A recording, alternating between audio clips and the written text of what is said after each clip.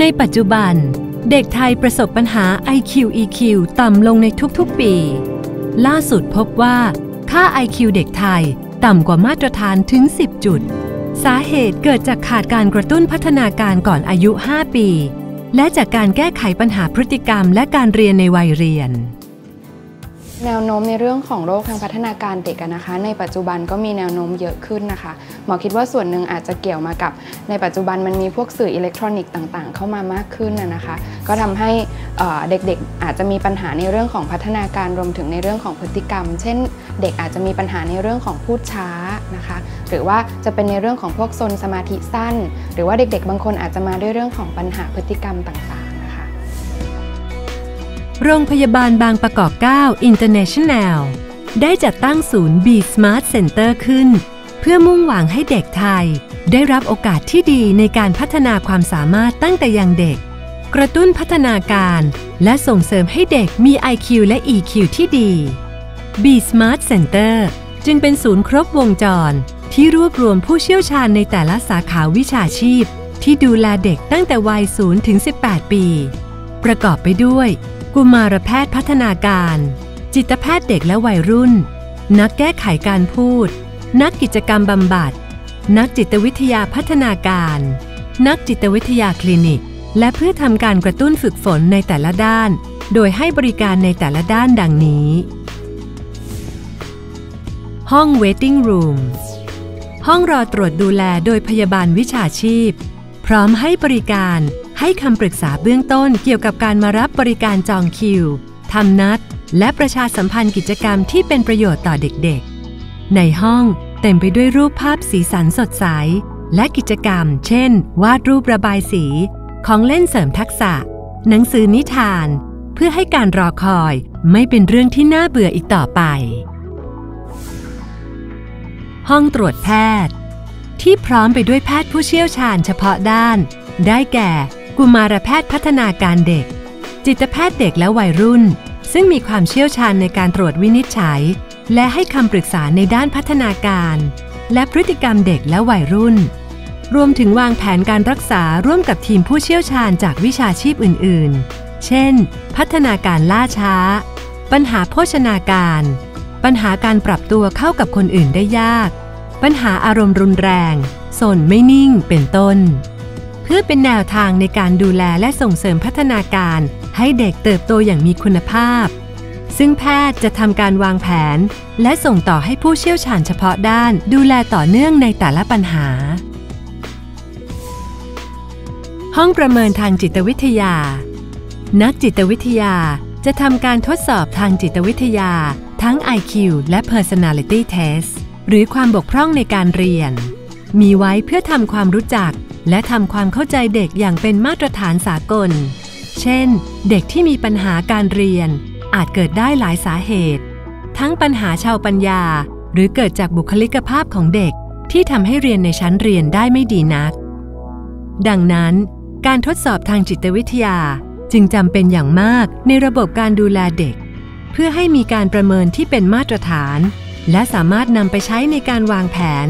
เพื่อส่งเสริมศักยภาพของเด็กได้อย่างเหมาะสม ตรงกับความจำเป็นของเด็กแต่ละคน ห้องสำหรับการฝึกพูด เป็นห้องกระจกด้านเดียวที่ใช้สำหรับการปรับพฤติกรรม โดยผู้เชี่ยวชาญในการฝึกพูดจำเป็นอย่างมากในเด็กที่มีพัฒนาการด้านภาษาล่าช้า พูดไม่ได้ตามวัย หรือเหมือนเพื่อนในวัยเดียวกัน พูดไม่ชัด ติดอ่าง รวมทั้งเด็กที่อยู่ในกลุ่มอาการโรคออทิซึมหรือ Autism Spectrum Disorder ซึ่งมีปัญหาพัฒนาการด้านภาษาบกพร่อง เพื่อให้เด็กสามารถสื่อสารได้ตรงกับความต้องการ และมีความมั่นใจในการออกเสียง พูดคุยกับผู้อื่น เสริมสร้างทักษะสังคม และพัฒนาชาวปัญญาต่อไป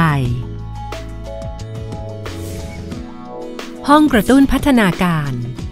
การกระตุ้นพัฒนาการนั้น ช่วยส่งเสริมให้เด็กมีพัฒนาการปกติ สามารถต่อยอดและพลิกแปลงกิจกรรมนำไปสู่การพัฒนาการด้านชาวปัญญา และสามารถช่วยเด็กที่มีพัฒนาการล่าช้า ให้สามารถทำกิจกรรมได้ใกล้เคียงกับเพื่อนคนอื่น ๆ ในวัยเดียวกัน เมื่อเด็กสามารถเข้ากลุ่มกับเพื่อนได้ ก็เป็นการสร้างทักษะสังคมและความมั่นใจในตัวเอง ซึ่งเป็นอารมณ์พื้นฐานที่จำเป็นต่อการเรียนรู้ และพัฒนาศักยภาพของเด็กต่อไป นักกิจกรรมบำบัดทำการช่วยเหลือปัญหาด้านสนไม่นิ่ง การช่วยเหลือตัวเอง เช่น การเข้าห้องน้ำ การกิน การหยิบจับของ รวมไปถึงกลุ่มเด็กออทิสติก ทางศูนย์มีห้อง Snooze Land เพื่ออุปกรณ์เฉพาะทาง ทั้งช่วยเหลือให้เด็กลดพฤติกรรมซ้ำๆ ฝึกให้เด็กสนใจ และสามารถเรียนรู้สิ่งต่างๆ ได้ดีขึ้นได้อย่างเหมาะสม ตรงกับความจำเป็นของเด็กแต่ละคน ห้องปรับพฤติกรรม เด็กจะพัฒนาความสามารถได้นั้น เกิดจากการเรียนรู้จากสิ่งแวดล้อม หากยังมีพฤติกรรมที่รบกวนการเรียนรู้ เช่น ร้องดิ้นทิ้งตัวนอนกับพื้น ไม่มองหน้า ไม่สบตา ไม่สนใจทำร้ายตัวเอง ทำร้ายผู้อื่น ก็ยากที่จะเรียนรู้ และรับข้อมูลจากภาพภายนอกได้ ดังนั้นจึงจำเป็นต้องลดพฤติกรรมดังกล่าวลงด้วยการปรับพฤติกรรม